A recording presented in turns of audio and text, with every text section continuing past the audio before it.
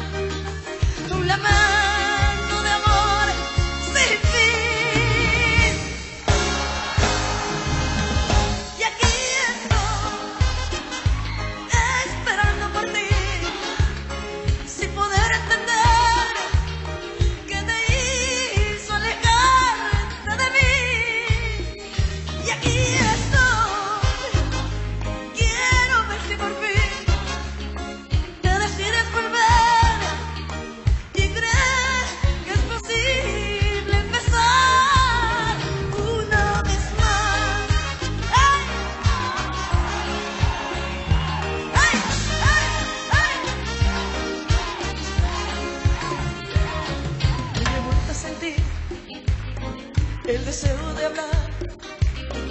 y decir